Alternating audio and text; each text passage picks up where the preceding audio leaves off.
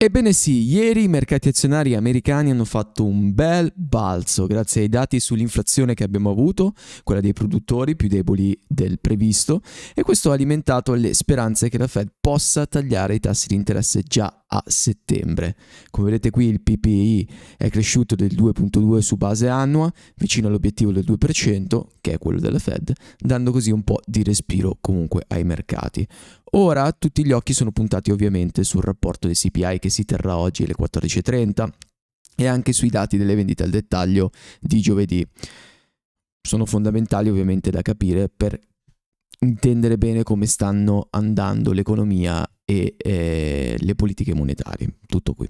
Eh, abbiamo anche avuto i titoli tecnologici, se andiamo a vedere qui, che sono saliti molto. Andiamo a vedere il Nasdaq con eh, Nvidia, AMD, Qualcomm che hanno guidato alla carica. Anche il settore dei beni di consumo ha fatto bene con Amazon, Tesla e molto altro, Starbucks soprattutto che sta per cambiare il CEO, che hanno registrato aumenti notevoli, abbiamo un Bitcoin che ha superato i 61 mila dollari, nonostante Trump e Musk ieri abbiano evitato di parlare di criptovalute nel, insomma, nell'intervista nello space che hanno fatto su X, comunque vediamo come in linea di massima Bitcoin è riuscito a superare i 60.000 dollari grazie ai PPI, grazie a tutta una serie di positività che sta riprendendo sui mercati. Okay? Uh, abbiamo avuto anche il mercato del Giappone che ha spinto parecchio, se andiamo a vedere, quindi siamo un po' tutto correlato adesso sulla salita che stiamo vedendo un po' su tutti gli asset. Il dollaro invece continua a perdere terreno, un po' appesantito dai dati che vediamo qui uh, deludenti che hanno avuto sui prezzi della produzione negli Stati Uniti per il dollaro e questo ha rafforzato, come già detto, le aspettative di un taglio dei tassi per settembre e, e, così via. Quindi questo è quello che stiamo vedendo anche sul dollaro. L'oro, ad esempio, è ancora molto forte. Quindi questa è un po' la situazione che abbiamo in questo momento. I mercati scommettono su un taglio dei tassi di 50 punti base a settembre, prevedendo oltre 100 punti base di allentamento entro fine anno. Quindi questa cosa è da tenere da conto. Bene, ora il, il grafico di Bitcoin, se andiamo a plottare l'EMA, vediamo come ha ottenuto questa resistenza qui ancora intorno alla 26 EMA la 200 EMA stiamo ballando un po' intorno alla stiamo facendo questo valzer con la 200 EMA un po' su un po' giù un po' su eh, perché come già vi ho detto ieri è un, diciamo, una linea nella sabbia divide un po' il downtrend dall'uptrend e quindi i bull stanno cercando di combattere contro questo livello. Tra poco andremo a vedere anche le opzioni call più potenti che sono state eh, prese in questo momento sia su Bitcoin sia su Ethereum e andremo a vedere anche altri movimenti che sono stati fatti. Comunque qui quello che sta facendo Bitcoin, per rimanere un attimo sull'analisi, eh, sta tentando di cambiare il trend, vedete, sta tentando di riprendersi l'uptrend giornaliero con un high, un higher low e sta cercando di andare a pezzare un higher high per una continuazione così da lasciarsi alle spalle questo come nuovo higher low giornaliero a 57.678 questo era il lower high precedente, romperlo e continuare rialzista fino alla prossima resistenza che siamo intorno a questa zona qua, dai 64 in su. Quindi questo è quello che i bull stanno cercando di fare. Un po' come stanno cercando di fare sul Nasdaq, che ancora però non ha avuto, non ha trovato il suo lower confermato come Bitcoin e quindi potrebbe trovarlo come aveva fatto qua, magari iniziare anche lui un percorso di higher low e poi vedere se ce la fa a cambiare il trend. Nuovamente a favore dei bulls lasciandosi le spalle così il nuovo low a 17.254 che teoricamente l'ha già confermato, ok? Come Bitcoin eh, ancora però non ha confermato quello di 48.000 che è il. Ok?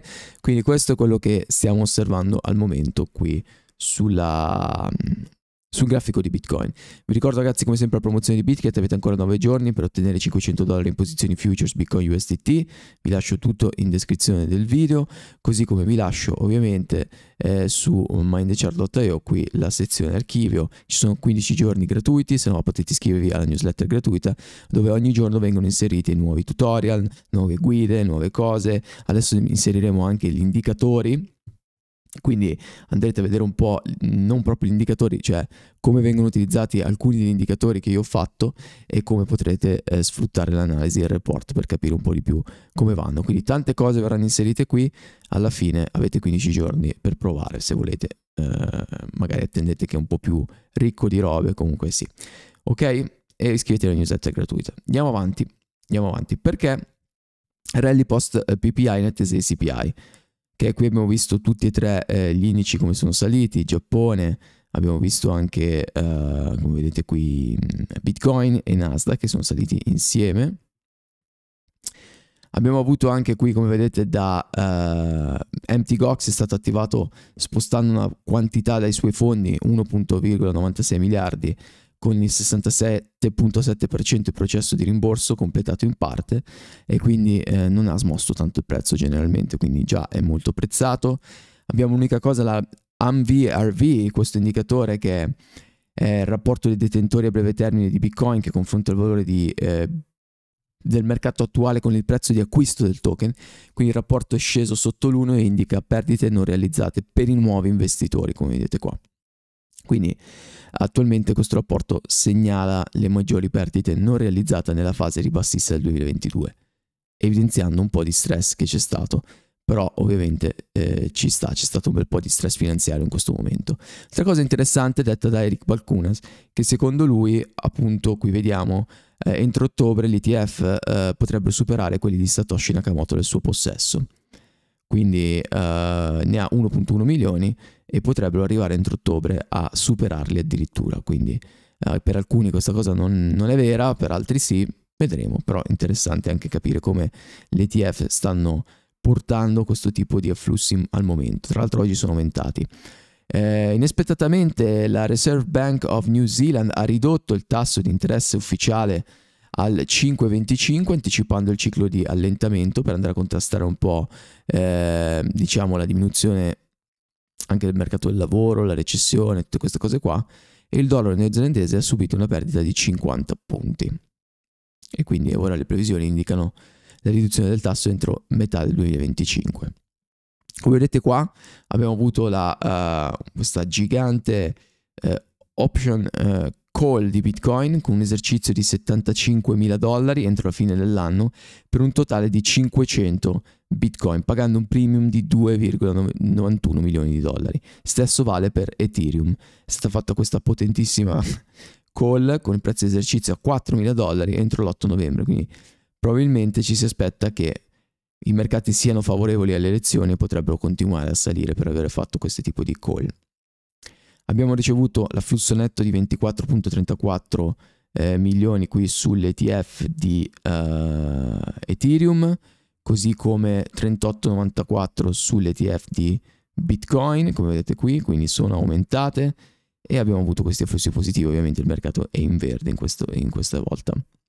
E quindi per questo motivo stiamo vedendo positività nel mercato. Se andiamo a dare un occhio alle altcoins in generale, quello che andiamo a vedere appunto è che c'è stata una ripresa di double digit un po' eh, dappertutto, sul daily qui vedete Rune, Maker, eh, IMX, Aptos, Stone, TIA, STX, Phantom, HNT, quindi quelle che stanno mettendo più percentuali nella giornata di oggi. Sulla settimana sui HNT set, quindi un po' di ripresa anche sugli ordinals, un po' di ripresa di, di queste qui. Sul mese ancora però siamo un po' a ribasso, c'è poca roba sul mese, come già vi ho detto ieri abbiamo bisogno di una dominance che scenda perché al momento è ancora molto carica su Bitcoin e abbiamo bisogno di Ethereum Bitcoin che salga. Questo è quello che, si, eh, che sperano tutti, che mi auspico anch'io perché comunque una ripresa delle altcoins ci starebbe, una ripresa di Bitcoin e di Ethereum soprattutto. Ci starebbe che secondo me gioca ancora un ruolo da ritardatario, quindi eh, lo vedremo, lo vedremo molto bene. Quindi interessante anche questa cosa qui che sta succedendo nei mercati. Bene, quindi ragazzi adesso siamo in attesa dei Uh, CPI di oggi, vedremo come andranno, se saranno positivi potremo vedere sicuramente un mercato in, continuo, uh, in continua positività dopo la scorsa pessima settimana che abbiamo avuto e per il momento poi domani ovviamente uh, non penso di aggiornarvi, mi prendo una pausa anch'io.